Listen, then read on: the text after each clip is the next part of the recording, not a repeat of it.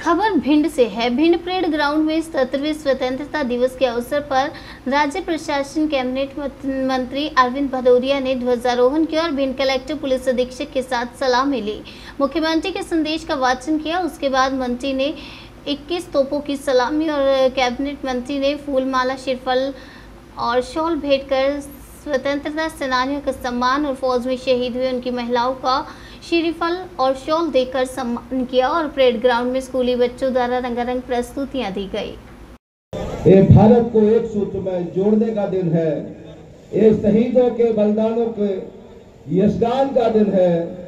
ये 140 करोड़ भारतवासियों के मुस्कान का दिन है। महिमा महान तू है। गौरव निधान तू है। तू प्राण है हमारी। जननी समान तू है।